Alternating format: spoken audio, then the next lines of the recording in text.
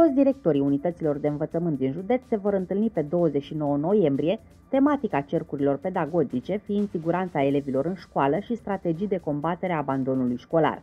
Locațiile au fost stabilite de către Inspectoratul Școlar Județean Olt pe zone. Zona Slatina, școala gimnazială Eugeniu Onescu, zona Balș, școala gimnazială Braneț, zona Caracal, școala gimnazială Drăghiceni, zona Corabia, școala gimnazială Vădastra, zona Drăgănești Olt, la școala gimnazială Vâlcele, toate zonele nivel liceal la Colegiul Ion Minulescu Slatina și toate zonele nivel preșcolar la GPP numărul 3 Slatina. În primele 9 luni din acest an s-au născut cei mai puțini copii din ultimii 6 ani, potrivit datelor Institutului Național de Statistică. În intervalul ianuarie-septembrie 2019 s-au înregistrat 139.829 de nou născuți, cu peste 3.000 mai puțin față de aceeași perioadă a anului trecut. Spitalul Județean de Urgență Slatina a scos la concurs, printre altele, și un post de curier la Serviciul Administrativ Aprovizionare și Transport, singura condiție impusă fiind cea de școală generală.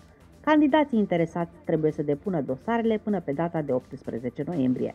Proba scrisă a concursului va fi organizată pe 27 noiembrie, iar data și ora interviului se vor comunica ulterior.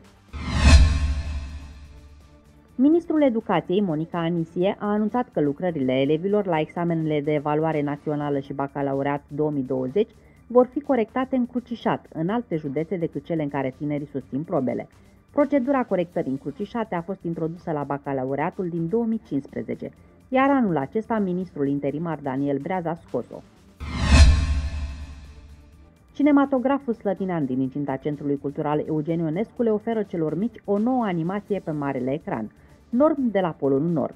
Filmul rulează mâine, 13 noiembrie și joi 14 noiembrie la ora 12.30 și prezintă o nouă aventură cu peripeții, după ce a părăsit căminul polar, a ursului ce poate vorbi cu oamenii.